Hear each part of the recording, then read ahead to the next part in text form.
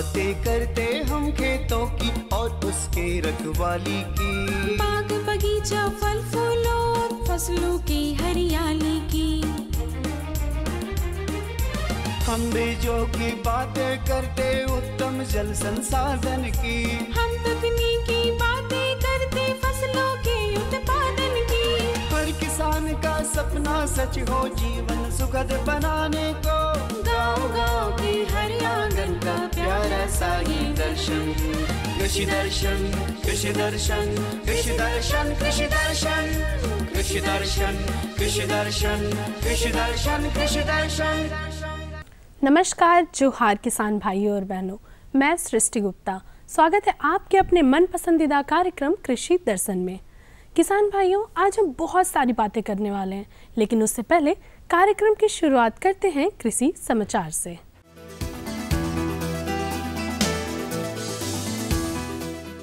नमस्कार, कृषि समाचार में आपका स्वागत है। मैं हूँ गोपाल कृष्ण। आइए देखते हैं आज कृषि समाचार में क्या है खास। गव्य विकास विभाग द्वारा चलाई जाती है मवेशी वितरण योजना। जाड़े में सुकरों एवं उसके आवास के साफ़ सफ़ाई का रखे विशेष ध्यान। निकाय गुड़ाई के लिए बेहतर उपकरण है डच हो राष्ट्रीय कृषि विकास योजना के तहत गव्य विकास विभाग द्वारा राज्य के कई जिलों में संकर नस्ल के दुधारू गायों का वितरण पशुपालकों के बीच अनुदान और बैंक ऋण के आधार पर किया जाता है। इस योजना का लाभ लेने के लिए प्रशिक्षित पशुपालक संबंधित विभाग में आवेदन दे सकते हैं। संकर नस्ल के दुधारू गाय के वितरण का लाभ वैसे पशुपालक, जो गरीबी रेखा से नीचे हैं, स्वयं सहायता समूह के सदस्य तथा झारखंड डेयरी प्रोजेक्ट द्वारा संचालित दूध पथों के सदस्य हैं। साथ ही स्वयं सहायता समूह प्रगतिशील किसान, युवा शिक्षित बेरोजगार, लघु उद्यमी और बड़े उद्यमियाँ ले सकते हैं। इस योजना के अंतर्गत दो गाय या भैंस से लेकर 500 गाय या भैंस तक अनुदान या बैंक ऋण पर लाभुक की योजना अनुसार उपलब्ध कराई जाती है। ठंड के मौसम में शुक्रों में चर्म रोग लगने की संभावना रहती है, जैसे बाल झड़ने, चमड़े में दाने निकलना या खुजली इत्यादि। इन चर्म रोगों के से बचने के लिए शुक्रों के आवास और शुक्रों को साफ़ सुथरा रखना चाहिए। शुक्रों को नियमित नहाना चाहिए, साथ ही आवास की भी नियमित सफ़ाई करने से चर्म रोग लगने की संभावना कम हो जाती है। शुक्रों में खास करके ठंड के मौसम में देखा जाता है, चर्म रोग की बीमारियों का प्रकोप ज़्यादा होता है। तो इस समय बड़े जो बच्चे हैं, बड़े जो शुक्र हैं, उसको नियमित रूप से नहाएँ, खास करके जब धूप हो जाए, उस समय उसको नहाने की सुविधा दें। छोटे बच्चों में को सिर्फ़ आप सफ़ाई की पर विशेष ध्यान दें।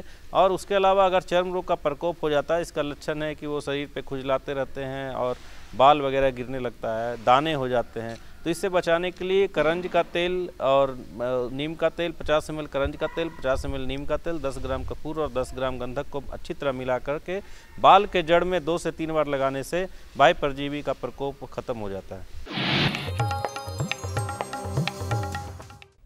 सब्जियों में भिंडी हमारे यहाँ लगभग सभी क्षेत्रों में लगाया जाता है। जो किसान भाई इस समय भिंडी लगाने के इच्छुक हैं, वे भिंडी के उन्नत प्रभेदों का चुनाव करें। भिंडी के उन्नत प्रभेदों में मखमली, तुलसी, रोहनी बेहतर माने जाते हैं। ये प्रभेद अच्छी मात्रा में उपज देने के लिए प्रचलित है। मखमली, तुलसी, रोहनी ये भिंडी के उन्नत प्रभेदों में बेहतर माने जाते हैं। वर्तमान समय में इनकी बुआई की जा सकती है। एक हेक्टेयर भूमि में 8 से 10 किलोग्राम की दर से बीजों की बुआई कर और उचित कृषि कार्यों को करके 150 से 200 क्विंटल तक भिंडी की उपज पाई जा सकती है। अरहर की फ़सल में वर्तमान समय में फली छेदक कीट लगने की संभावना रहती है। ज़्यादातर कृषक फली छेदक कीट के नियंत्रण के लिए रासायनिक दवाओं का प्रयोग करते हैं। परंतु कृषि विशेषज्ञों की सलाह है कि रासायनिक दवाओं के बजाय नीम निर्मित दवाओं जैसे नीम सीड या बीटी इत्यादि जैविक दवाओं का प्रयोग लाभकारी होता है। यदि कीटों का प्रकोप ज़्यादा हो तो रासायनिक दवाओं का इस्तेमाल करें। अरहर में जैसे हम अभी देखते हैं जो पीलू जो आता है, फल छेदक जो बोलते हैं, वो बहुत ज़्यादा होता है। इसको बचाने के लिए आपको जैविक दवा पहले इस्तेमाल करना है। जैसे बीटी करके एक दवा है, वो पॉइंट टू एमएल आपको स्प्रेइंग करना है। इसके बाद नीम सीड कर्नल एक्सट्रैक्ट का भी स्प्रेइंग करना है। हार्ट और डेल्फिन का दवा मिलता है, ये जैविक दवा है, इसका स्प्रेइंग करना है। इसके अलावा अगर फिर भी आपको खेत में दिख रहा है पीलू, तब आपको केमिकल दवा में जाना चाहिए।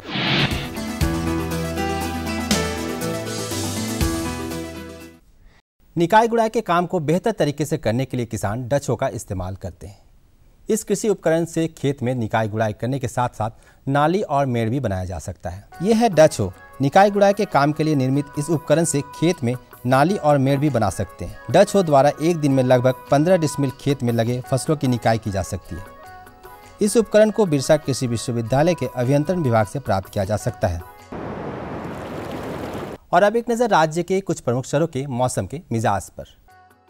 आज राज्य के कुछ प्रमुख शहरों के तापमान इस प्रकार दर्ज किए गए। रांची अधिकतम 22 डिग्री सेल्सियस और न्यूनतम 10 डिग्री सेल्सियस। देवघर अधिकतम 22 डिग्री सेल्सियस, न्यूनतम 9 डिग्री सेल्सियस। जमशेदपुर अधिकतम 26 डिग्री सेल्सियस और न्यूनतम 12 डिग्री सेल्सियस। मेदिनीनगर अधिकतम 22 डिग्री सेल्सियस और न्यूनतम 10 डिग्री सेल्सियस। धनबाद अधिकतम 22 डिग्री सेल्सियस और न्यूनतम 11 डिग्री सेल्सियस। कृषि समाचार में आज इतना ही। अगले दिन, अगले अंक में फिर मुलाकात होगी कुछ ताज़ा तरीन खबरों के साथ। तब तक के लिए दीजिए इजाज़त, नमस्कार, जोहार।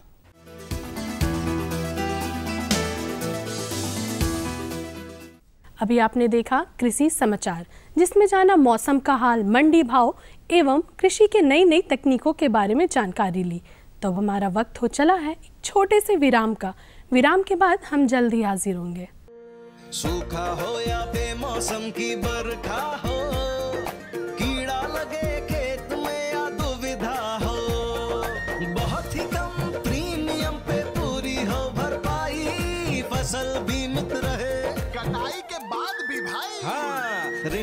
या अऋणी अब हर किसान लाभ उठाए। एक मौसम कदर है सब किसान बीमा कराए। प्रधानमंत्री फ़सल बीमा योजना से हर किसान मुस्काए। कृषि और किसान कल्याण मंत्रालय द्वारा किसान हित में जारी। अरे भाई सुना नहीं क्या? केसीसी ने किसानों का ज़िंदगी बदल दिया है। देश के छोटे किसान एक लाख साठ हज़ार रुपए तक का कर्ज बिना किसी गारंटी को ले पाएँगे। ब्याज खोरों से भी पीछा छुटा। मैं तो जैविक खेती का पूरा सामान मंगा लिया। केसीसी का भी कोई दबाव नहीं है। ब्याज चुकाने के लिए पूरा एक साल मिलता है। समय पर भुगतान करने पर केवल चार परसेंट के सालाना ब्याज पे लोन मिल गया मुझे। अपना आधार कार्ड लेटेस्ट फ़ोटो और ज़मीन के कागजात लेके अप्लाई करो बस। और नामांकन भरने के लिए जेब भी ढीली नहीं करनी पड़ी।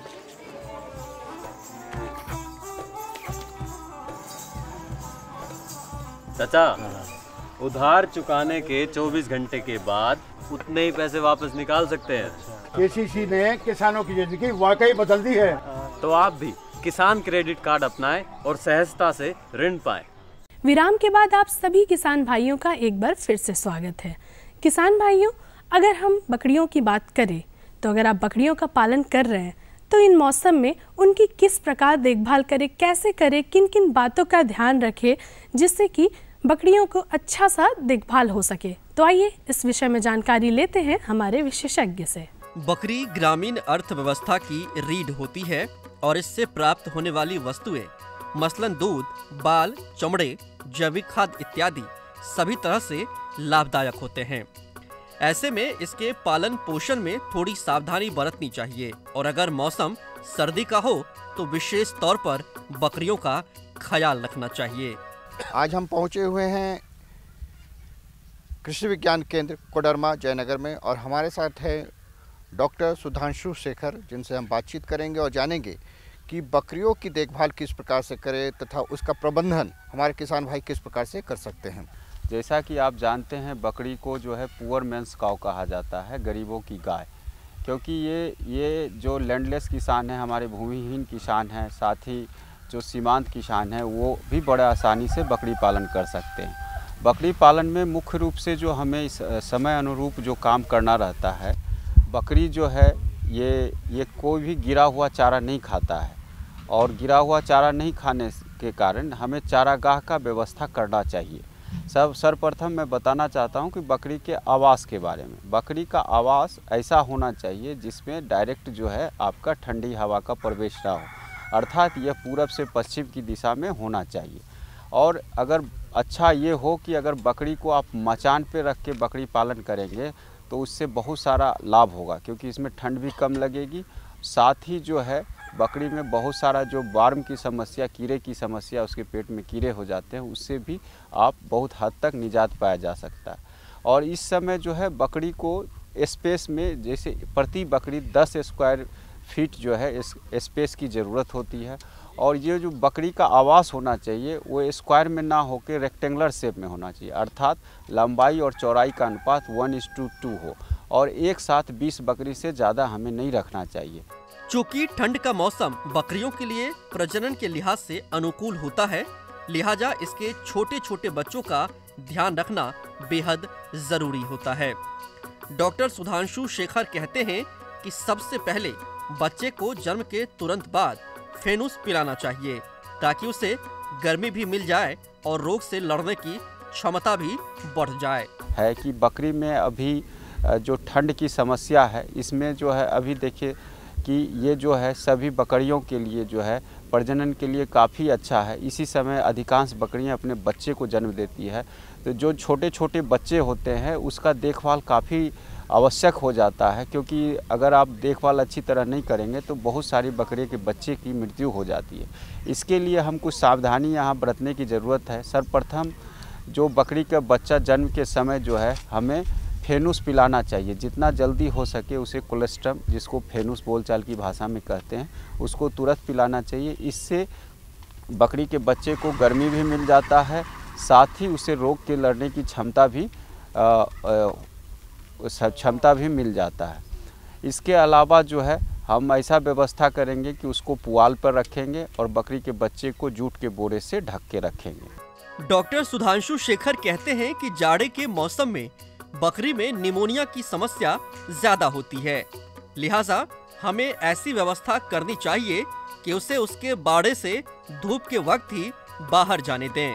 और ये ठंडे के मौसम में जो है सबसे ज़्यादा जो परेशानियाँ होती है वो निमोनिया की होती है। तो निमोनिया से बचाव के लिए हम लोग करेंगे कि अगर हमें निमोनिया अगर किसी बच्चे में निमोनिया में बच, बकरी या बकरी के बच्चे में सांस तेज़ चलने लगता है वो खाना पीना कम कर देता है, उसको तेज़ बुखार होता है। तो इससे बचाव के लिए हम बच्चे को जो है थोड़ा सा जो चारा देंगे, वो वो चढ़ने के लिए जो चारा देंगे, वो हम ऐसा व्यवस्था करेंगे कि बकरियाँ जो है, धूप के समय ही बाहर रहे। अर्थात नौ बजे के बाद ही बकरी को बाहर चारागाह के लिए भेजेंगे और शाम होने से पहले, अर्थात तीन से चार के बीच हम उसको अपने बकरी बकरी फार्म पर उसको फिर बाँध के हम लोग खाना खिलाएँगे। ठंड के मौसम में बकरियों में कई प्रकार के रोगों का खतरा बढ़ जाता है। ऐसे में हमें ज़रूरी टीकाकरण ज़रूर करना चाहिए। ये समय जो है एक बहुत ही बकरी में खतरनाक बीमारी होती है जिसका नाम है पीपीआर। पीपीआर जो ऐसी बीमारी है इसमें 80 से 90 परसेंट तक बकरियाँ की मृत्यु हो जाती है।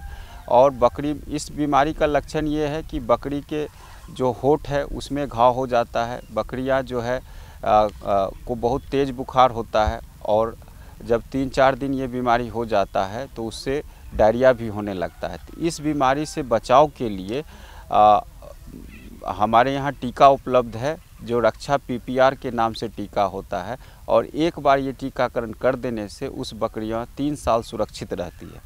तो और इसमें जैसा कि आप आगे हम ही हम बताए हैं कि 80 से 90 परसेंट बकरियाँ की मृत्यु हो जाती है और ये कि एक बहुत ही अपने ज़िले में, कोडरमा ज़िले का एक बहुत ही बड़ा कारक है, जिस कारण से जो है पशुओं की बकरियों की खासकर की बहुत ज़्यादा मृत्यु हो जाती है। अगर इससे बचाव के लिए हम लोग रक्षा पीपीआर का टीका साल में एक बार लगाएँ और अपने बकरी को तीन साल तक सुरक्षित रखें।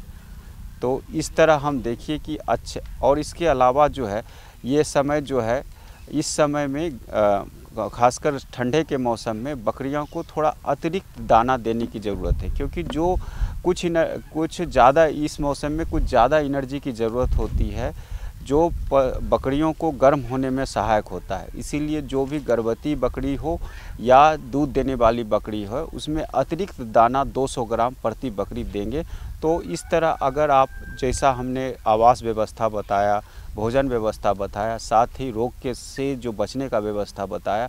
अगर इस तरह आप बकरी पालन करेंगे तो अपना एक अच्छा जो है, आप बकरी पालक बन सकते हैं और अधिक आमदनी प्राप्त कर सकते हैं। डॉक्टर सुधांशु शेखर कहते हैं कि जितना हो सके, बकरी को ठंड से बचाएँ, ताकि वे स्वस्थ और सुरक्षित रह सकें। ज़ाहिर है, जब वो स्वस्थ रहेंगी, तभी तो आपको ज़्यादा मुनाफा हो पाएगा।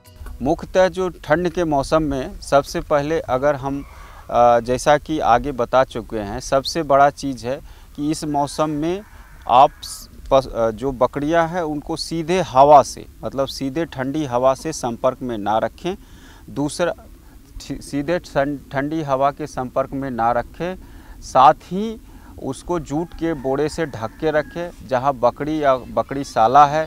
उस बकरी साला के दीवार खिड़की ये सब में जूट का बोरा से वो ढक दे।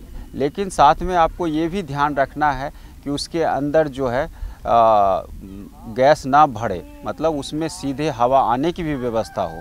नहीं तो आपका निमोनिया का प्रकोप आपके फार्म पे बढ़ जाएगा। अभी आपने जाना कि बकरियों की देखभाल पालन कैसे कर सकते हैं। तो अब हमारा वक्त हो चला है फिर से एक विराम का। विराम के बाद हम जल्दी हाजिर होंगे। किसान भाइयों, गांठ बाँध लो, गांठ बाँध लो। बात बहुत है काम की, समृद्धि के पैगाम की। मिट्टी के मिजाज को समझो, मिट्टी के हर रास को समझो। मिट्टी की तुम जाँच कराओ, मुफ़्त सॉइल हेल्थ कार्ड ले जाओ।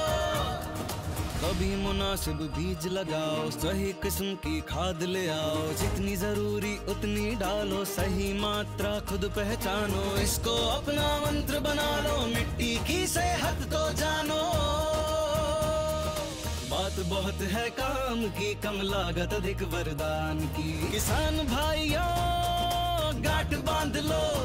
आज ही मिट्टी की जाँच कराएँ। राज्य सरकार के कृषि अधिकारी से संपर्क करें और मुफ़्त में सॉइल हेल्थ कार्ड पाएँ। कृषि और किसान कल्याण मंत्रालय द्वारा किसान हित में जारी। विराम के बाद आप सभी किसान भाइयों का एक बार फिर से स्वागत है। किसान भाइयों, अगर हम बीज की बात करें तो अगर हम अच्छे तरीके से बीज का उत्पादन करते हैं तो हमें अच्छा फ़सल मिलेगा और इससे लाभ भी मिलेगा। लेकिन वहीं, अगर हम बीज का उत्पादन अच्छे तरीके से नहीं कर पाते हैं तो हमारा फ़सल भी अच्छा नहीं होगा। तो आज हम जानेंगे कि गुणवत्तापूर्ण बीज का उत्पादन कैसे करें किन किन बातों का ध्यान रखें, जिससे कि सफलतापूर्वक बीज का उत्पादन हो सके। तो आइए इस विषय में जानकारी लेते हैं हमारे विशेषज्ञ से। जैसा कि आप जानते हैं, हमारा झारखंड कृषि प्रधान राज्य है। यहाँ पर आधा से अधिक आबादी कृषि कार्य करती है। जब कृषि कार्य की बात करते हैं तो बीज का स्थान प्रमुख है, क्योंकि बीज से ही अच्छे फल और अच्छे पैदावार होते हैं, और किसानों को आर्थिक लाभ होता है। जी हाँ हम बात कर रहे हैं कि बीज उत्पादन का सही तरीका क्या है? किस तरीके से बीज उत्पादन किया जाए ताकि हमारे किसान को उसका अधिक से अधिक फ़ायदा मिल सके? इसी कड़ी में वहाँ पहुँचे हैं रांची के भारतीय कृषि अनुसंधान केंद्र में और हमारे साथ यहाँ के प्रधान डॉक्टर ए के सिंह जी हैं। आइए उनसे हम जानते हैं किस तरीके से बीज का उत्पादन किया जाए ताकि हमारे किसान भाइयों को इससे अधिक से अधिक लाभ मिले। देखिए, हमारे प्रदेश के किसान भाई तो उत्पादन तो कर ही रहे हैं, चाहे वो दलहनी सब्जियों का उत्पादन हो, चाहे लतर वाली सब्जियों का हो, चाहे अनाज की हो, चाहे तिलहन, सभी तरह के, धान के, सभी तरह के कृषि कार्य के जितने भी फ़सलें इन पर हम लोग काम कर रहे हैं, उत्पादन होता है। लेकिन किसान भाइयों को मैं बार बार यही भी बताता हूँ कि किसी भी खेती के लिए बीज का आधे का योगदान होता है। तो एक बीज उत्पादन भी एक बहुत प्रमुख कड़ी है और इसके गुणवत्ता युक्त बीज उत्पादन के लिए बहुत सारी सावधानियाँ रखनी पड़ती हैं। जिनके बारे में हम लोग आज किसान भाइयों से बात करेंगे। बीज के लिए जब बात करते हैं तो क्या सावधानी बरतना चाहिए? उसके लगाने का तरीका क्या है? दूरी कितनी होनी चाहिए? पटाने की व्यवस्था कैसी होनी चाहिए? देखिए बीज चार तरह का होता है। एक तो न्यूक्लियस बीज के नाम से बड़ा इसको एक होता है अभिजनक बीज ब्रिडर सीड उसका नाम होता है। एक होता है आधार बीज और एक होता है प्रमाणित बीज। तो किसान भाइयों के जो खेत में हम लोग करते हैं, उसको प्रमाणित बीज कहा जाता है। जिस किस्म के बीज की उत्पादन किसान भाइयों को करना है, उसके लिए सबसे पहले राज्य जो हमारा रजिस्ट्रेशन करता है, जहाँ पे बीज संस्थान है, वहाँ पे इसका प्रमाणीकरण के लिए रजिस्ट्रेशन कराना पड़ता है। उसके बाद बीज का होता है और खेती, जैसे हम सब्जियों की खेती करते हैं, वैसे ही बीज उत्पादन के लिए या भी उसी तरह के ज़मीन का चुनाव किया जाता है। बलुई हल्की दोमट मिट्टी जिसमें जल निकास की अच्छी व्यवस्था हो जीवांश युक्त खाद प्रचुर मात्रा में हो उसमें हम लोग बीज के उत्पादन के लिए सिफारिश करते हैं। ऐसी मिट्टी जिसमें कि अधिक ककरेली पथरीली हो जीवांश युक्त खादों की कमी हो हम उसमें हम बीज उत्पादन नहीं कर पाते हैं। अगर हम सब्ज़ी बीजों की बात करें तो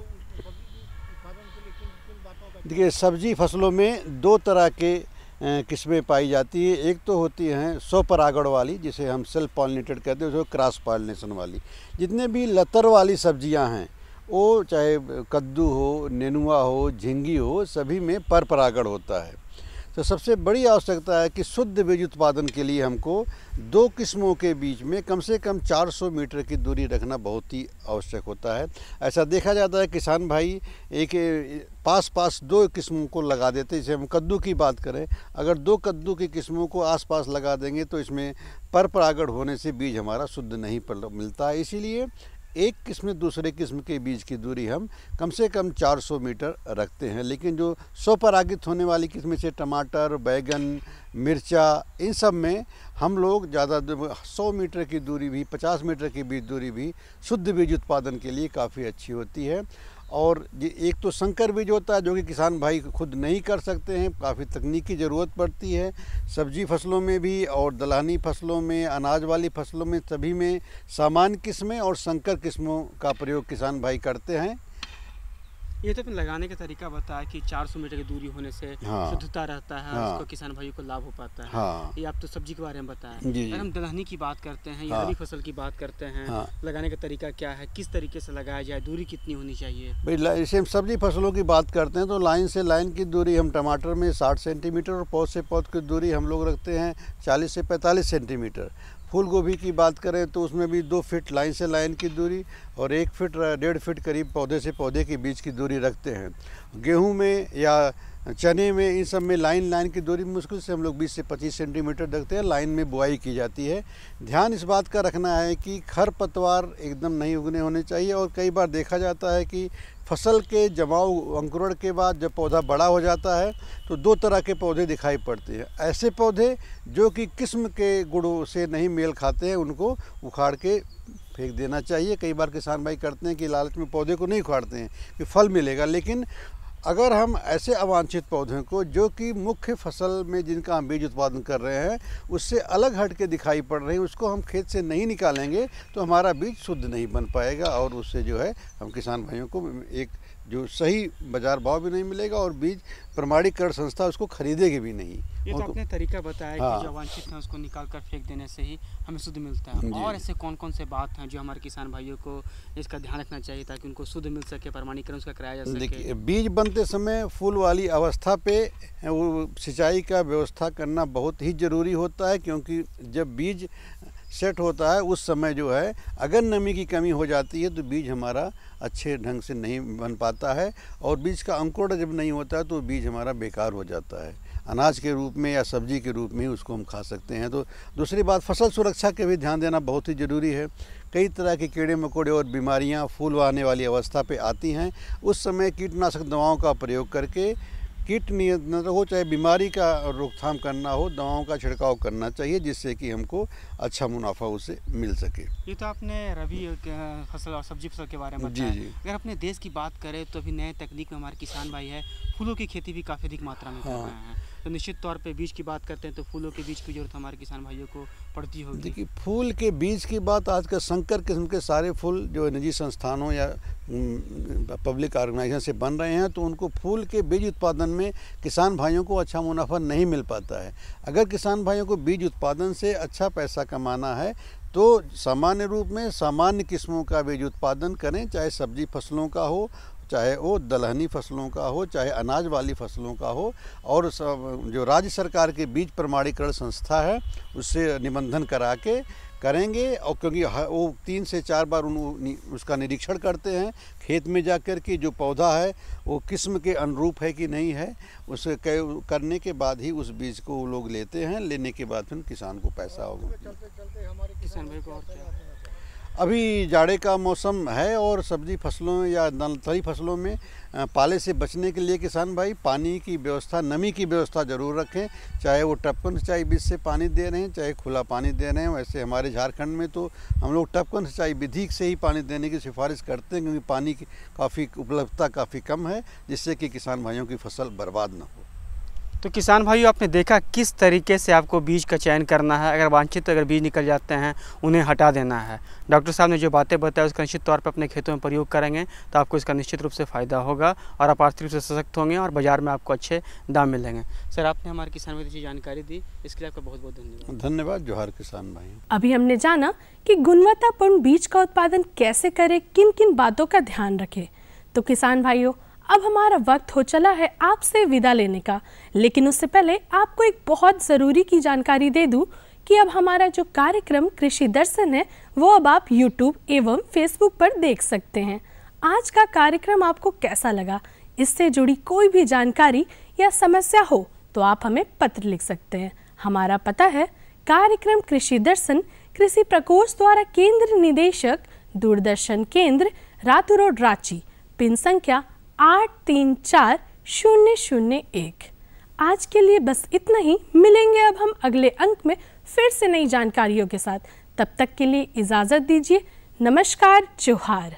हम बीजों की बातें करते उत्तम जल संसाधन की। हम तकनीकी बातें करते फ़सलों के सपना सच हो जीवन सुखद बनाने को। गाँव गाँव के हर आँगन का प्यारा सा ही दर्शन। कृषि दर्शन कृषि दर्शन कृषि दर्शन कृषि दर्शन। कृषि दर्शन कृषि दर्शन कृषि दर्शन कृषि दर्शन।